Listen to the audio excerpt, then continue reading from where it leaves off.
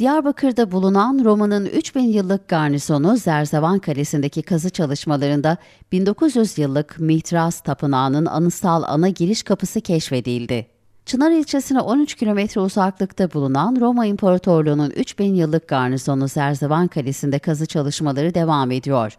Kentin önemli turizm merkezi alanlarından olan kalede 1900 yıllık Mitras Tapınağı'nın keşfedilmesiyle birlikte tapınağın anıtsal ana giriş kapısına ulaşıldı.